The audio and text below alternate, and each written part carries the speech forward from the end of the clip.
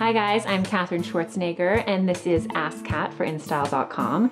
And this week we are here with home style expert Emily Henderson. Hi guys. and she is going to show me how to style my bookcase. I've lived in this apartment for a few months now and I always like to mix things up. So I'm really excited for her to help me restyle them. Let's do it. Let's do it.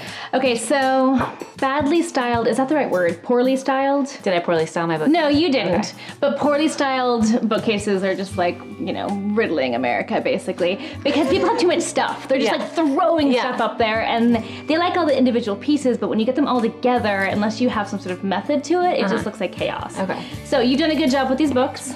Um, it's always good to work within a color palette. Okay. So you don't have to be super, you know, like you have right here black, white, red, and pink, and it makes it look all nice and cohesive. Okay, good. And then I like to rotate the book so you have some that are horizontal, like these, and some that are vertical, like mm -hmm. these. Okay.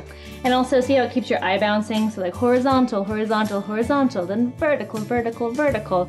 So you don't want all the vertical on one side and all the horizontal so on the other like side. Fluidity. Yeah, fluidity. Yeah, fluidity.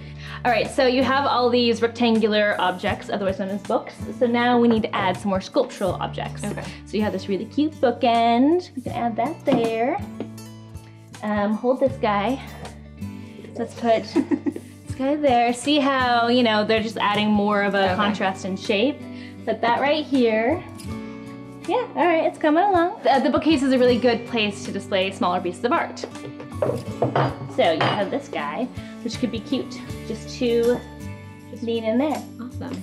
And then you always need something personal. You don't want it to look like a catalog or yeah. like somebody else styled it, like me. Yeah. you can do it anyway. Yeah. So it's always good to add a little bit of you in here, assuming that this is you.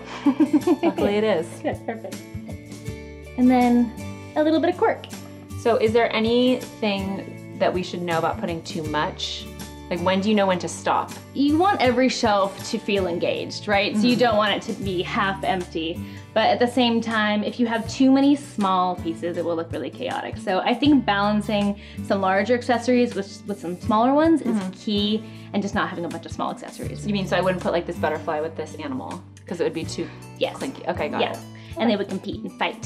It's like telling your eye what to do. Okay. Whereas if you just had all the hot pink and red here, that would look weird. Okay. Right? It would look really off balance. Okay. There you are, your well-styled bookcase. Thank you so much.